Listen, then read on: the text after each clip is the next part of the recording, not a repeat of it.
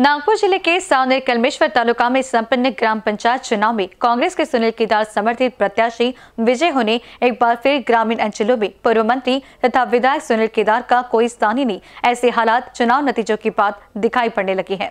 पूर्व मंत्री तथा विधायक सुनील केदार को जमीनी स्तर पर घेरने की भारतीय जनता पार्टी के स्थानीय नेताओं को एक बार फिर हार का सामना करना पड़ा। सावने कलमेश्वर तहसील कार्यालय के प्रांगण में संपन्न मतगणना में सावने तहसील की 26 तथा कलमेश्वर तहसील के 21 ऐसे कुल सैतालीस ग्राम पंचायत सरपंच तथा सदस्यों की ली थी छह नवंबर को संपन्न मतगणना में सुनील केदार समर्थित इकतालीस सरपंच चुने जाने का दावा। जिला परिषद नागपुर की अध्यक्षा मुक्ताताई कोकड़े तथा पूर्व जिला परिषद उपाध्यक्ष मनोहर कुंभारे ने की। हमारे स्थानीय संवाददाता से बात करते हुए उन्होंने बताया कि यह सुनील केदार के कार्य प्रणाली की जीत है। ग्रामीण अंचलों में सुनील केदार द्वारा किए गए तथा किए जा रहे विकास कार्यों से ग्रामीण जनता खुश है और चुनावी नतीजों से भी यह साफ़ हो चला है तथा यह एक परिवर्तन की लहर है। आगामी विधानसभा व लोकसभा चुनाव में इसका असर ज़रूर दिखेगा और समुचे राज्य तथा देश में कांग्रेस उभर कर आगे आने का विश्वास इस वक्त व्यक्त किया। सुनील केदारगढ़ के चुनकर आए सरपंच तथा सदस्यों का जिला परिषद अध्यक्षा मुक्ताताई कोकड़े पूर्व जिला परिषद उपाध्यक्ष मनोहर कुंभारे, पंचायत समिति सभापति अरुणा शिंदे उप सभापति राहुल तिवारी आदि ने फूल मालाएँ पहनाकर उन्हें बधाई दी इस अवसर पर सरपंच विष्णु कोकड़े अशोक डवरे सोनू राव साहेब आदि सहित सैकड़ों कार्यकर्ता प्रमुखता से उपस्थित थे। सामने उप विभागीय अधिकारी संपत खलाटे के मार्गदर्शन तथा तहसीलदार मलिक विरानी नायब तहसीलदार संदीप डापेराव के नेतृत्व में मतगणना निर्विघ्न रूप से संपन्न हुई।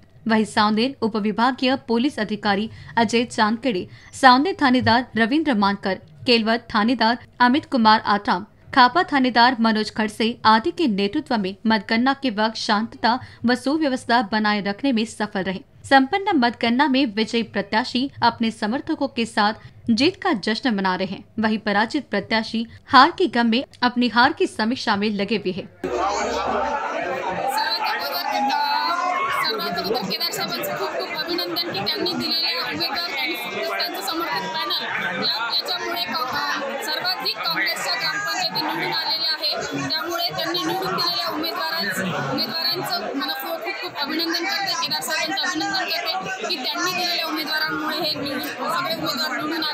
आणि या निश्चितच याचा फायदा विधानसभेला शंभर टक्के होणार आहे शंभर टक्के.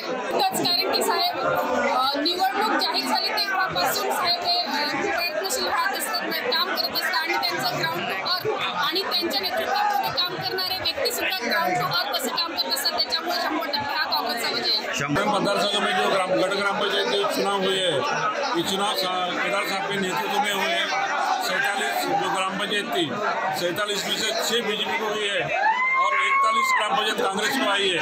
ये सब कांग्रेस का जनाधार है और जो मतदार संघ में, ज़िले में सुनील केदार साहब का नेतृत्व है, जो ज़मीन से जुड़ा हुआ है और किसान, मजदूर बेरोजगारी जो है, ये सबके लिए जो हरदम जड़ से लड़ने वाले जो नेता है सुनील केदार साहब की तरफ़ से सब जनता देख रही है।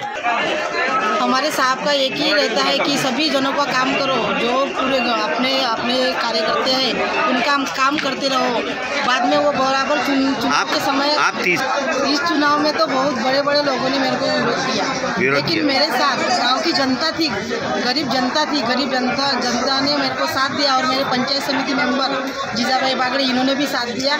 इसलिए हम चुन के और गरीब जनता का धन्यवाद करती हूँ मैं। सब गरीब लोगों ने चुन के दिया।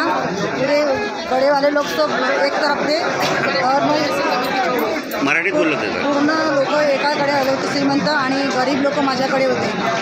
आणि साहेबाचा प्रतिसाद होता मला आणि माझ्या सर्कलमधून नाही तर मला बाकी सर्कलमधूनही खूप मदत झाली. नेहमी आणतच नेहमी आणतच राहतो. नेहमी सर्व जे महिलांसाठी स्कीम आहे गोरगरिबांसाठी स्कीम आहे. एनबीसी न्यूज के लिए सावने से किशोर ढूंढेले की रिपोर्ट